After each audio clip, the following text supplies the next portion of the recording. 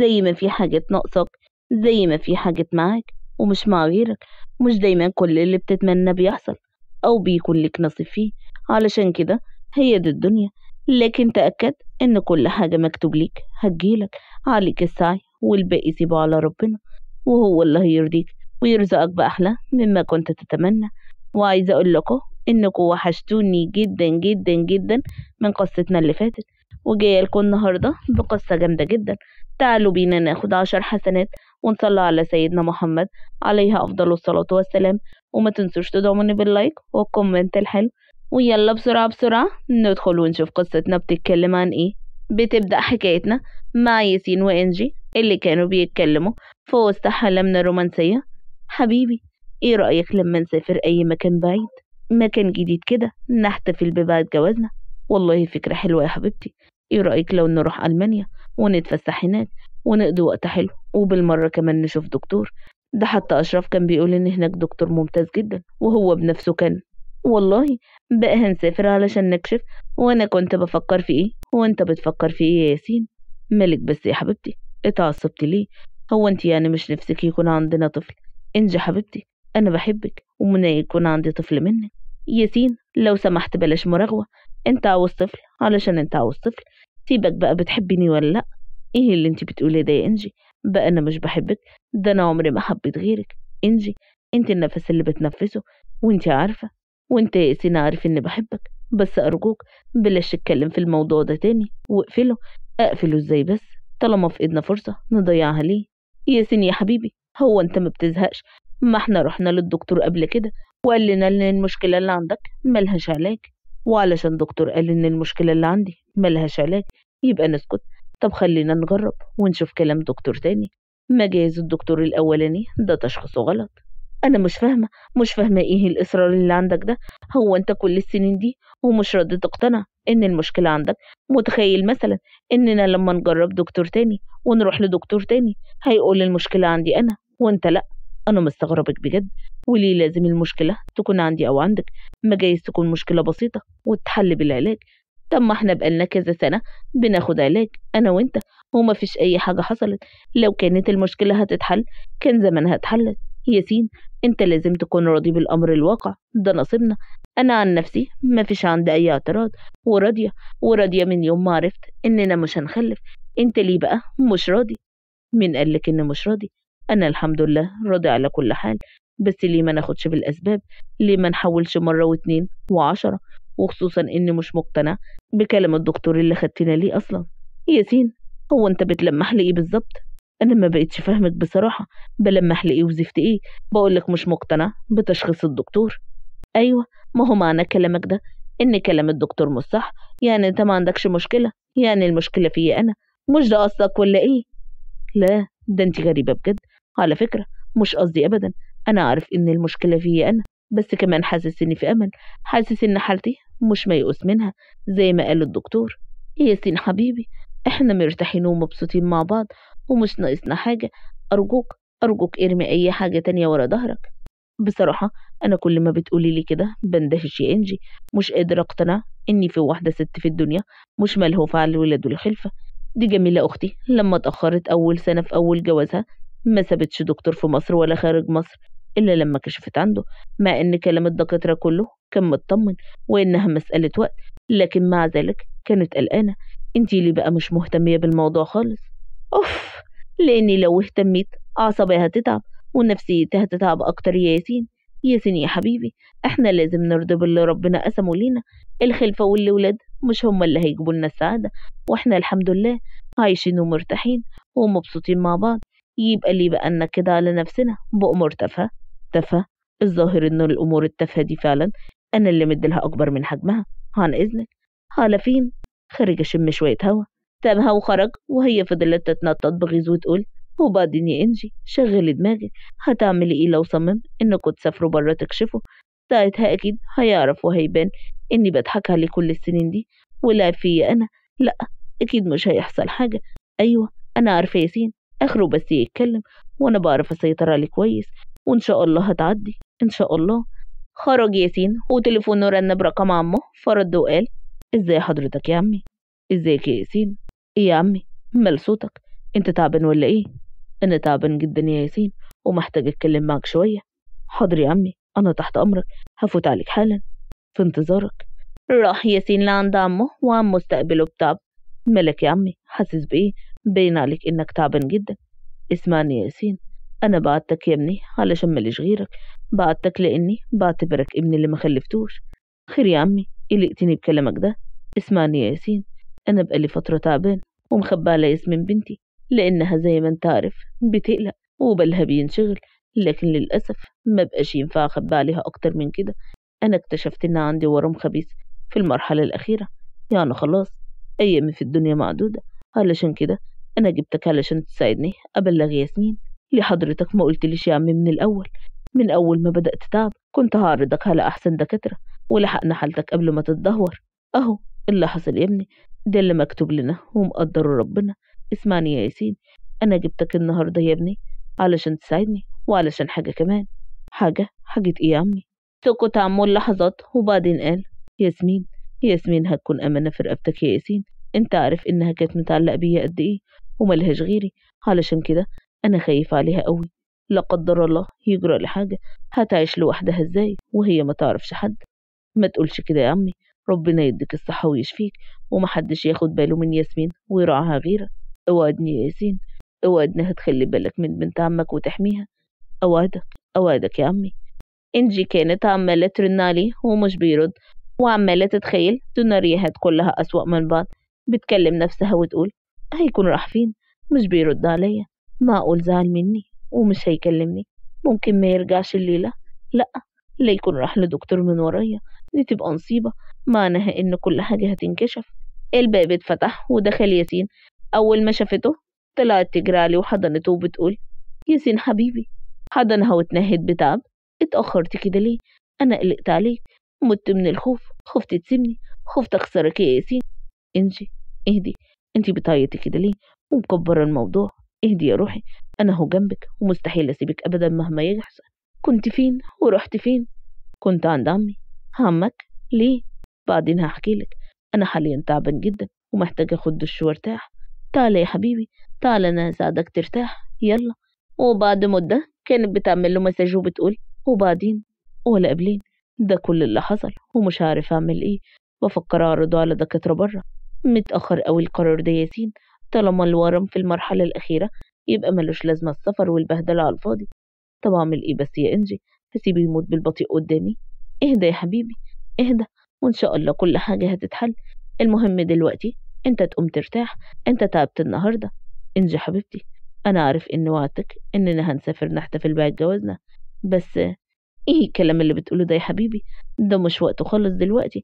أهم حاجة دلوقتي نطمن على عمي وبعدها كل حاجة مقدور عليها. متشكر جدا يا حبيبتي. يلا يا حبيبي نام وارتاح. تصبح على خير. راح فورا في النوم وهي بتكلم نفسها بهمس وبتقول من الواضح إن تعب عمك ده جه في الوقت المناسب. لولا ما كنتش خلصت من الورطة السفر دي ربنا يستر. وبعد مرور يومين راح ياسين علشان يزور عمه. بيخبط فتحت له ياسمين وبتبكي بانهيار. ياسمين عم ماله؟ جرى له إيه؟ طلع يجري على جوه بخوف لكن اتنهد براحة. لما شاف عمه نايم على السرير ياسين كويس إنك جيت. ياسمين مالها منهارة. حضرتك كويس. حاسس بحاجة؟ أجيب لك دكتور. هيفيد بإيه الدكتور يا ياسين. اسمعني يا ابني. الطلب اللي هطلبه منك دلوقتي أنا عارف إنه هيصدمك وعارف إنك هتشوفني أناني وبفكر في مصلحة بنتي وبس لكن أنا عندي أمل إنك تفهمني كويس. طلب طلب إيه يا عمي؟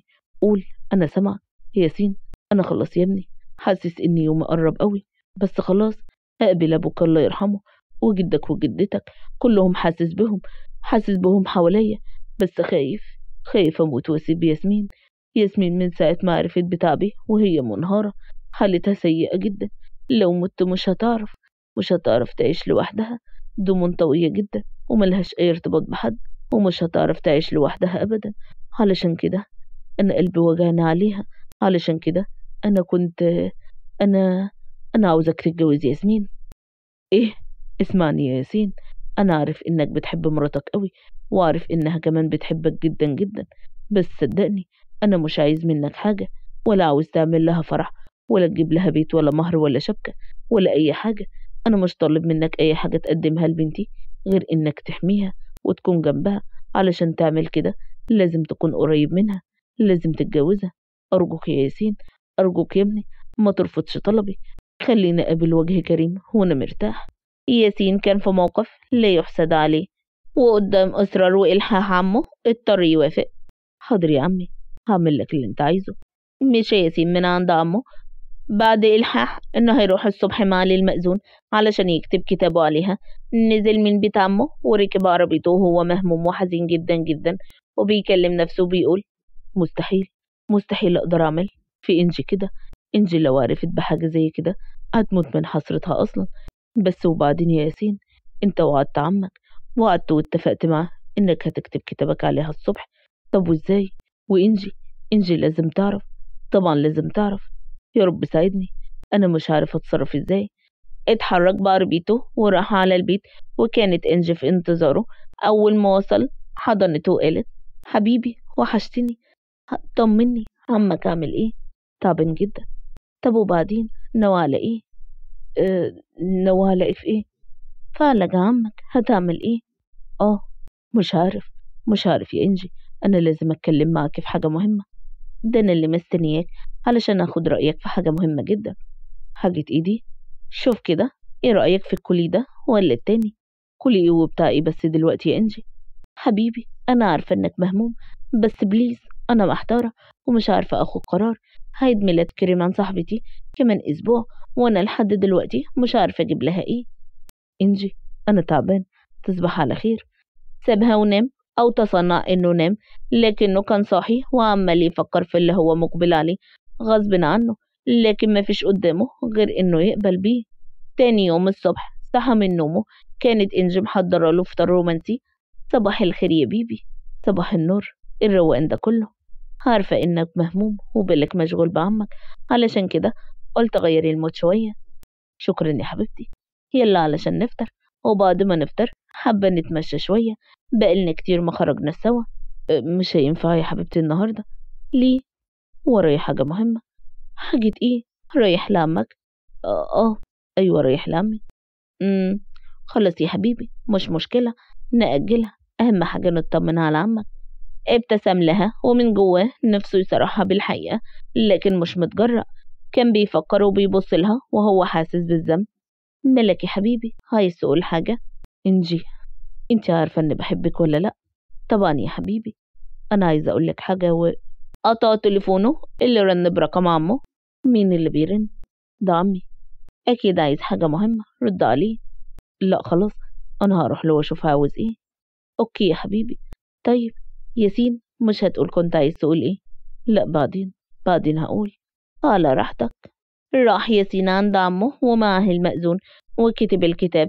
عمه قال ياسين سامحني يا ابني أنا عارف إن الخطوة اللي أخدتها مش سهلة وعارف إنك هتواجه مشاكل كتير بسبب جوازك من بنتي بس ما كانش قدامي حل غير كده. ياسمين ملهاش غيرك يا ياسين. ياسين بيطبطب على عمه وبيقول ملوش دعوة الكلام ده يا عمي ياسمين من لحمة ودمي وأنا أولى واحد برعايتها ومن اللحظة دي بقت مراتي. يعني اطمن يا عمي هي مش لوحدها خلاص. ربنا يبارك فيك يا ابني ويحفظك. ما تتصورش أنا اطمنت دلوقتي إزاي؟ دلوقتي أموت وأنا مرتاح بعد الشر عنك يا عمي. ربنا يشفيك وتقوم بالسلامة. تليفونه رن فقال عمي أنا مضطر أستأذن دلوقتي. عندي مشوار مهم. لو احتجت أي حاجة كلمني فورا. متشكر يا ابني. كلك واجب. مع السلامة. خرج علشان يمشي فشاف ياسمين قاعدة لوحدها بتبكي بانكسار أول ما شافته وقفت وقالت ياسين أنا معلش يا ياسمين مش وقته دلوقتي أنا مستعجل عن إذنك. ما صدق خرج من بيت عمه. سحب نفس طويل جدا كأنه كان حابس الهوا جوه صدره. ركب عربيته واتحرك وهو بيرن على إنجي. آه يا حبيبي طمني عملت إيه؟ آه عملت إيه في إيه؟ اطمنت على عمك. آه أيوه أيوه شفته. هو عامل إيه؟ كويس الحمد لله. طيب رجع البيت دلوقتي ولا عندك شغل؟ أيوه عندي شغل. بالليل هاجي. okay. أنا في ال beauty salon بعمل شعري. تمام تمام. يلا bye. مع السلامة. قفلت معاه وبصت لكريمان صاحبتها وقالت ها كملي لي يا شريرة. يا بنتي طالما خايفة قوي كده إن سترك ينكشف يبقى مفيش غير حل إنك تعملي اللي هقولك عليه. ده دواء بيسبب العقم. تحطي له منه كل يوم في الأكل أو العصير وبعد فترة هتبدأ النتائج تبان وبيكون هو فعلا بقى عنده مشاكل تمنع الخلفة. وقتها لو لقيتيه لسه مصر إنكوا تغيروا الدكتور تقولي له ماله وأي تحليل هتعملوها. هتثبت إنه فعلا عنده مشاكل تمنع الخلفة. يا بنتي لا تعيدني ولا عايرك. الهم طايلني وطايلك. بسيطة أهي. لا بجد برافو. أرفع لك القبعة. شابو يا بنتي إيه ده؟ إبليسة. الحق عليا إني بفكر معاكي بتفكري إيه؟ ده أنت طلعتي أستاذة ورئيسة قسم. أفكار ما تخطرش على بال الشيطان نفسه. أفهم من كلامك إن عجبتك الفكرة وهتنفذيها. عجبتني؟ آه بس مش هنفذها. وليه بقى يا بنتي أنا في غنى عن كل ده. أنا بعرف إزاي أخليه يسكت وينسى الموضوع ده. وبعدين بصراحة أنا ما يهونش عليا أعمل في ياسين حبيبي كده. طب يا حنينة بكرة نقعد على الحيطة ونسمع الزيطة. بس يا بلدي حيطة إيه وزيتة إيه؟ خسارة فيكي كلي اللي أنا جايبهولك. إيه ده؟ بجد؟ طب وريني وريني.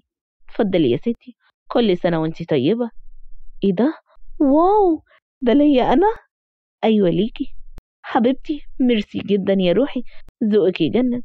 مبسوطة إنه عجبك. أنا هقوم بقى علشان لازم أعمل شعري وأرجع البيت قبل ما ياسين يرجع. يلا bye. باي يا روحي. ياسين كان واقف قدام البحر بعربيته بيكلم نفسه وبيقول إيه اللي عملته في نفسك ده يا ياسين؟ ما كانش لازم توافق. أي نعم هو عمك وهي بنت عمك.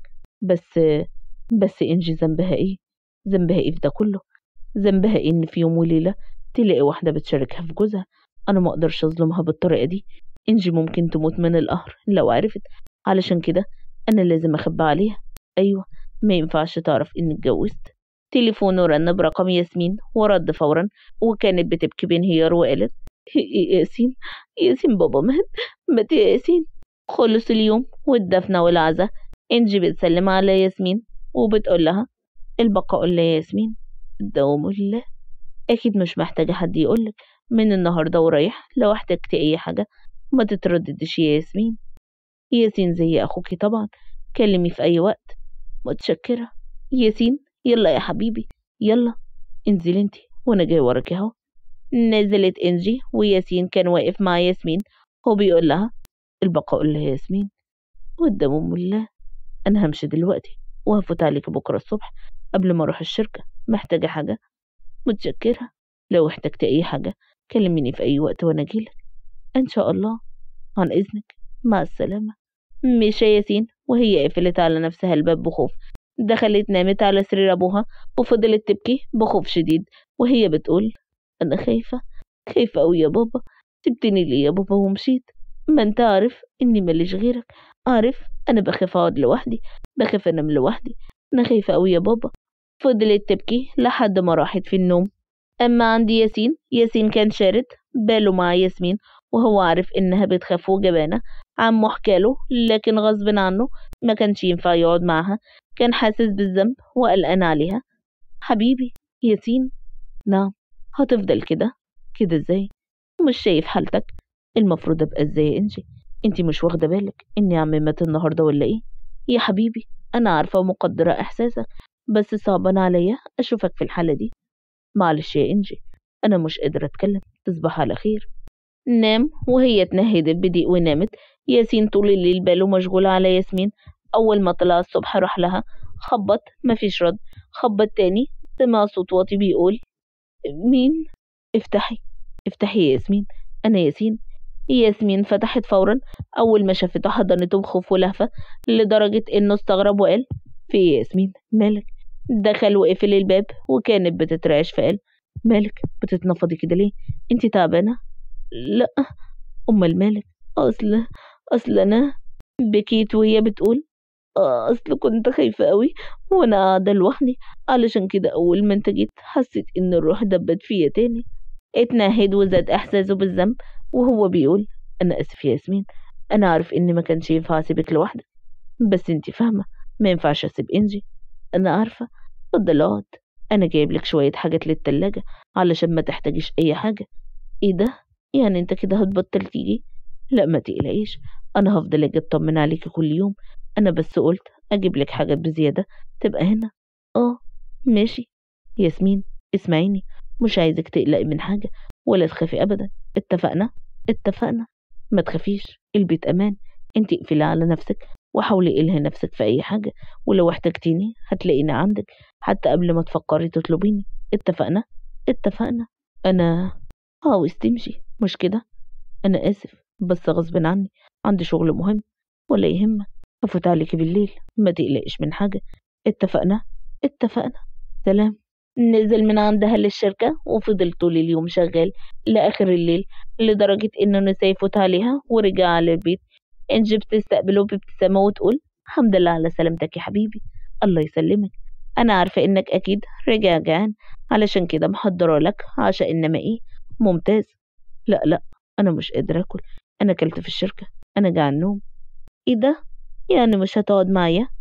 معلش يا حبيبتي أنا محتاجة أنام جدا. تصبح على خير. وسابها ونام. أما عندي ياسمين كانت قاعدة في سرير أبوها وهي محوطة نفسها وبتبص حواليها بخوف وتكلم نفسها وبتقول هو اللي ياسين مجاش هو قال لي إن هيفوت عليا. معقول كسل يجي ولا نسى؟ أنا خايفة. يا رب النور ما يقطعش وأنا قاعدة لوحدي.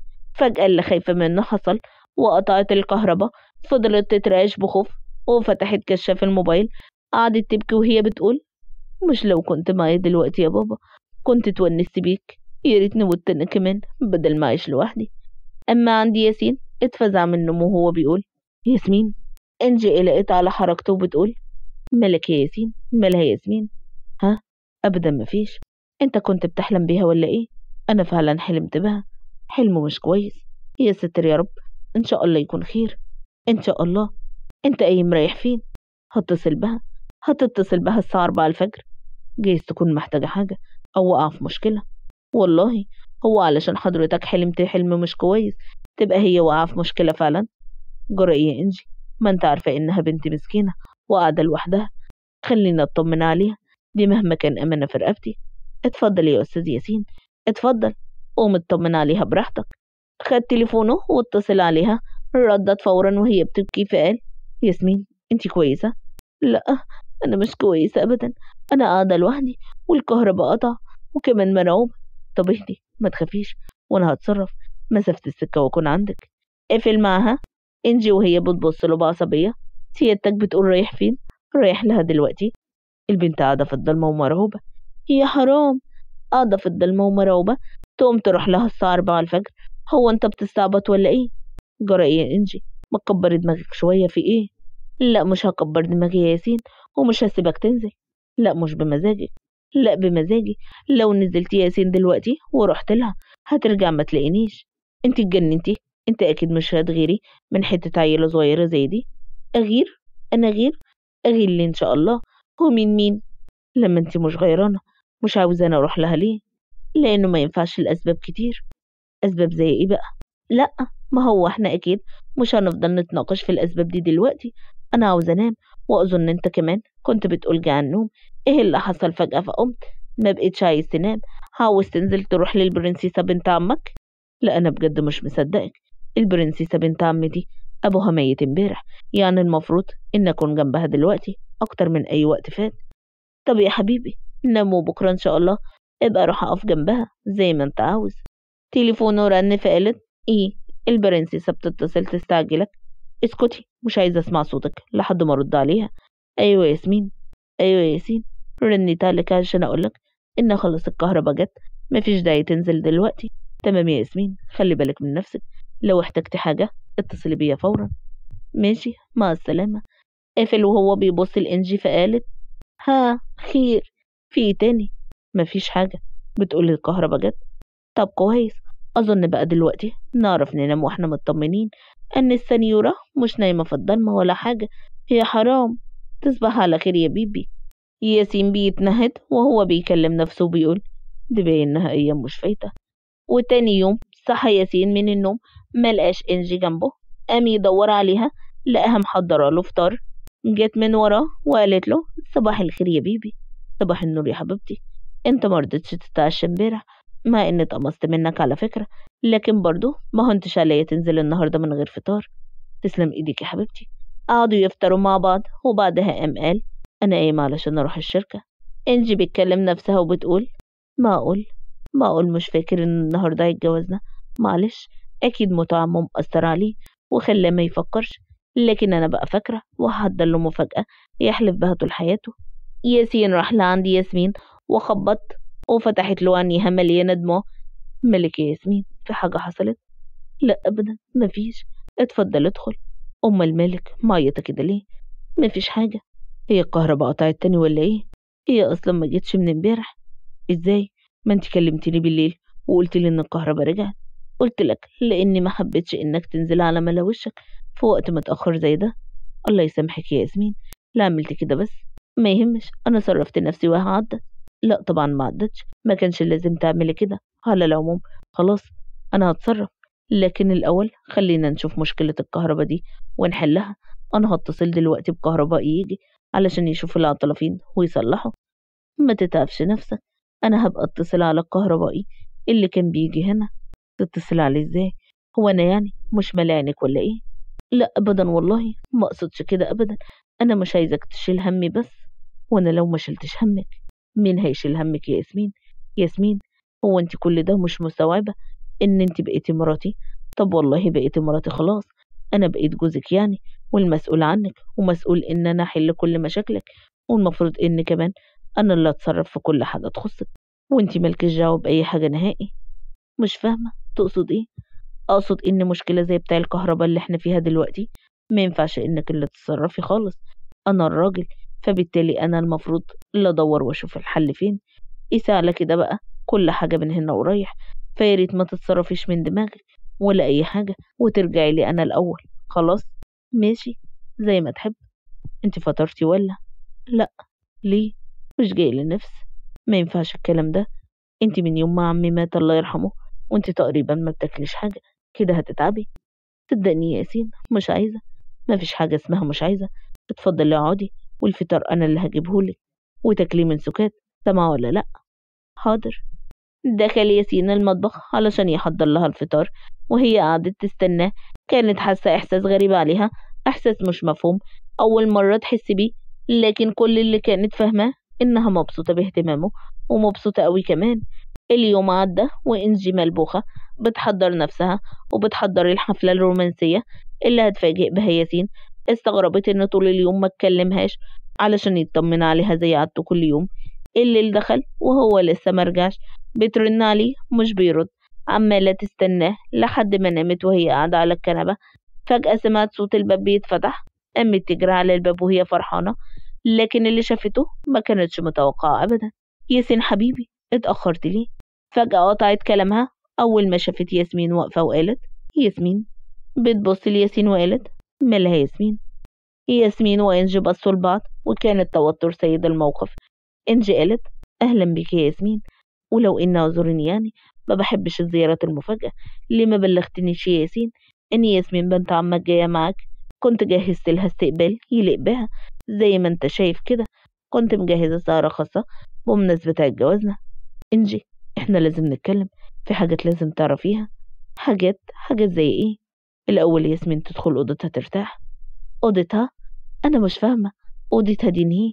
هي ياسمين لها أوضة هنا في البيت وأنا مش عارفة. ملهاش بس هيبقى لها. لأ ده إحنا لازم نتكلم فعلا. اتفضلي يا ياسمين انتظريني في الصالون على ما أتكلم مع جوزي شوية. ياسين وهو بيحاول يضغط أعصابه. مش الصالون الأوضة التانية هتكون بتاعت ياسمين من هنا ورايح. إنجي بصت له بعصبية وما ردتش وراحت على أوضتهم. ياسين قال ياسمين أنا مش عايزك تزعلي من معاملة إنجي هي بس لسه مش فاهمة حاجة علشان كده متعصبة. ولما تفهم هتتعصب أكتر يا ياسين أنا ما كانش لازم أجي هنا. ياسمين أنت مراتي وده بيتك زي ما هو بيتها ومش عايزك تشغلي بالك بأي حاجة تانية. أنا هتصرف تعالى دخلك أوضتك. دخلها أوضتها وراح لإنجي لقاها راحة جاية بعصبية أول لما شافته قالت ممكن أفهم إيه اللي بيحصل؟ وجاي وجايب بنت عمك معاك و... مش بنت عمي وبس. مش فاهمة. ماشي هتقولي بنت عمي وزي أختي لكن إنجي اهدي واديني فرصة أفهمك. ياسمين مش زي أختي. ياسمين بقت بقت بقت إيه يا ياسين؟ ما تنطق تكت ليه؟ ياسمين بقت مراتي. بصت له بصدمة لحظات وبعدها فضلت تضحك ضحك هستيري إنجي لو سمحتي اهدي واسمعيني. بتقول إيه؟ مراتك؟ لا لا لا. انت جاي تهزر معايا نص الليل. لا لا لا. كده كذبت إبريل يا ياسين. انجي لو سمحتي. مسكته في هدومه وهي بتقول لو سمحت انت يا ياسين. لو سمحت اخرج دلوقتي حالا. مشي المخلوقة اللي بره بالذوق بدل ما اخرجها أنا ومشيها بقلة الذوق وتبقى مش لطيفة في حقك. ياسمين مش هتمشي يا انجي. ياسمين مراتي انت اتجننت. مراتك إزاي وزفت إيه؟ إيه الكلام الفارغ اللي بتقوله ده؟ ياسين ياسين أنا اعصابي تعبانة بما في الكفاية. لو سمحت انهي السخافة دي دلوقتي حالا. انجي هو انت ليه مصممة ما تصدقنيش؟ اصدق إيه؟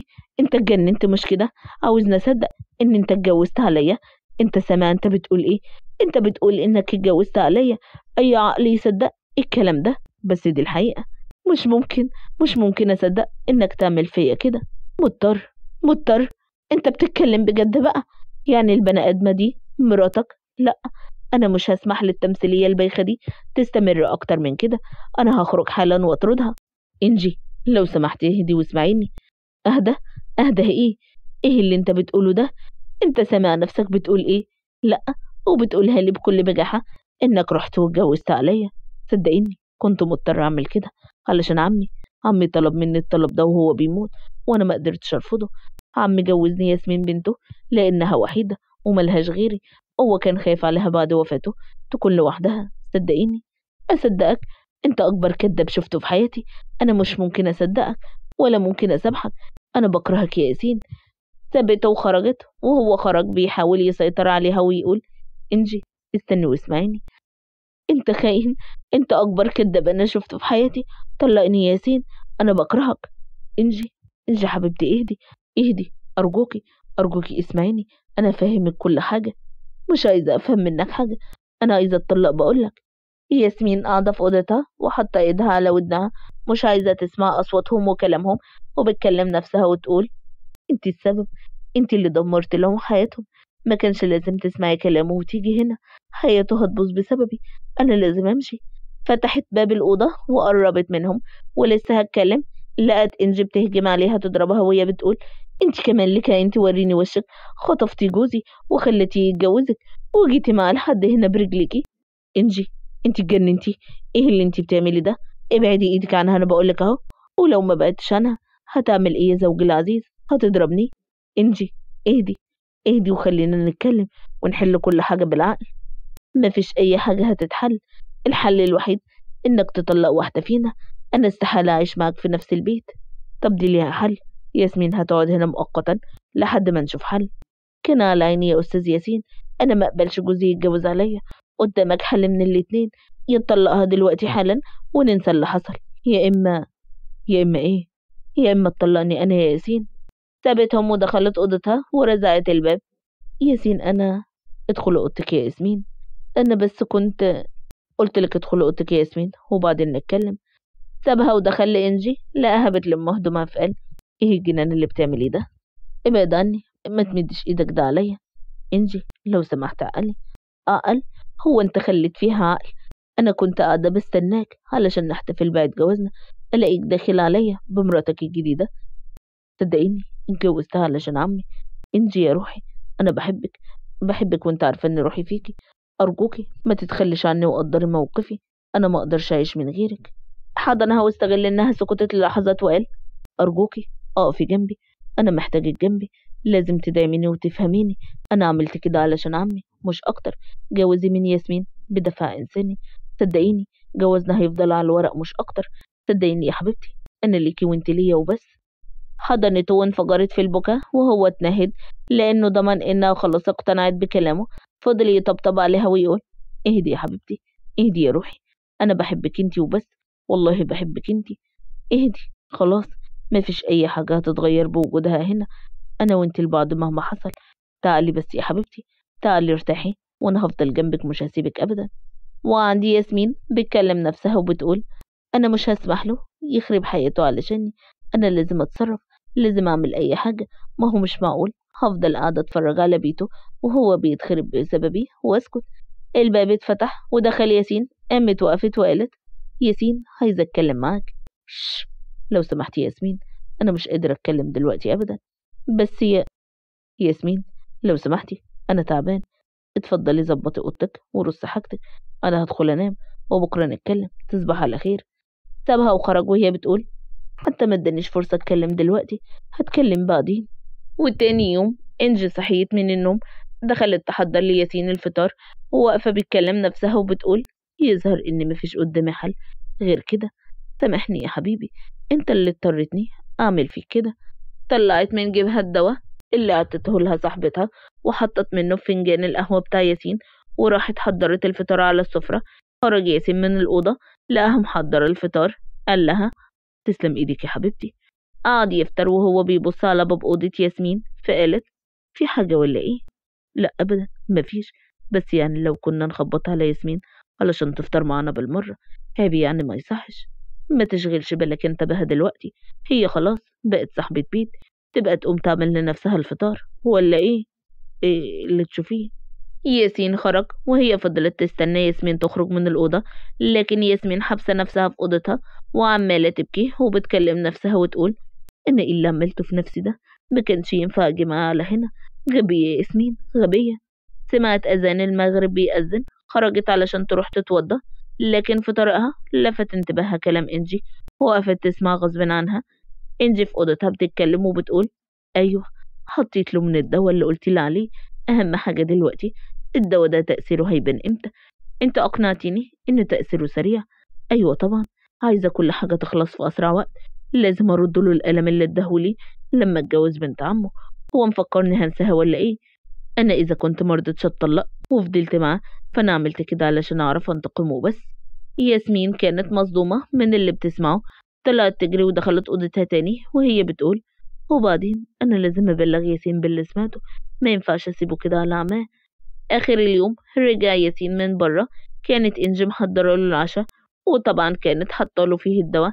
قعد اتعشى وهو عينيه على باب أوضة ياسمين فقالت ما تقلقش لسه عايشة ما ماتتش هي ما خرجتش من أوضتها خالص ولا إيه؟ ما أعرفش هو أنا المفروض أراقبها ولا إيه؟ لا أبدا. أنا بس كنت عايزة أطمن عليها. أخد صينية الأكل دي وأدخل لها. لو سمحتي يا ياسين لو سمحتي أنتي يا إنجي دي مهما كان بنت عمي. هو بالفعل أخد صينية الأكل ودخل لها أول لما دخل وقفت وقالت كويس إنك جيت أنا مستنيك من بدري. في ياسمين؟ حصل حاجة ولا إيه؟ أيوة في حاجة مهمة أنت لازم تعرفها. حكيت له ياسمين على اللي سمعته وكان مصدوم وبيقول مش معقول مش قادر أصدق. ياسين أنا عارفة إنك بتحب إنجي جدا وأكيد مصدوم من اللي حكيته لك بس ورحمة بابا أنا ما كدبت عليك بحرف من اللي قلته. بص لها وما ردش وسابها وخرج. دخل أوضة إنجي لقاها ماسكة التليفون أول لما شافت قفلته فقال إيه يا حبيبتي كنت بتكلمي حد ولا إيه؟ لا أبدا كنت بعمل سيرش على حاجة بس. ها اطمنت على بنت عمك. أيوة تمام أنا هنام تصبح على خير. مثل إنه نام وفضل مستنيها لحد ما اتأكد إنها راحت في النوم. مسك تليفونها وفضل يقلب فيه لحد ما لقاها بتبحث على اسم الدواء بيسبب العقم على المدى الطويل. وتأكد من صدق كلام ياسمين. كان مصدوم ومش قادر يصدق وبيكلم نفسه وبيقول معقول يا إنجي معقول تعملي فيا كده كل ده علشان إيه؟ تنتقمي وبس. فضل يقلب في تليفونها لأول مرة في حياته شاف الرسائل اللي بينها وبين الدكتور اللي عمل لها التحاليل المزورة اللي بتثبت إن ياسين مش بيخلف واكتشف الحقيقة إن العيب فيها هي. إنجي صحيت من النوم تاني يوم لقت ورقة طلاقها جنبها على السرير ومعها تحليل الذكورة اللي عمله ياسين وعرف منه الحقيقة. أما ياسين خد ياسمين ورجع على شقة عمه. ياسمين قاعدة جنبه وقالت ياسين لحد إمتى هتفضل قاعد ساكت كده ومش بتتكلم؟ طب قول أي حاجة. هقول إيه بس يا ياسمين؟ أنا كويس ما تقلقيش. كويس إزاي بس؟ وأنت في الحالة دي؟ سامحها يا ياسين أنت لسه بتحبها. بص لها وابتسم بسخرية وقال وحتى لو لسه بحبها أسامحها إزاي بعد ما خدعتني السنين دي كلها وأوهمتني إن لعب فيا وفي كل مشكلة كانت بتفضل تسم بدني بكلامها علشان خاطر بس تفضل محافظة على كبريائها قدامي أسامحها إزاي وهي كانت بتحط لي الدواء في الأكل وعايزة تسبب لي عقم علشان أبقى فعلا ما بخلفش أسامحها على إيه ولا إيه حتى لو كنت بحبها ما ينفعش أسامحها على عملته الحب مش كل حاجة بس أنت تعبان ومتضايق إنك طلقتها مش متضايق إني طلقتها متضايق إني انصدمت فيها. على العموم كل ده هيعدي. ما تشغليش بالك انت بحاجة وركزي في صحتك. قوليلي أكلتي ولا لأ؟ ماليش نفس. برضه مالكش نفس. طب إيه رأيك بقى؟ إنها هخليكي تاكلي غصب عنك. لو هتاكل معايا هاكل. غير كده لأ.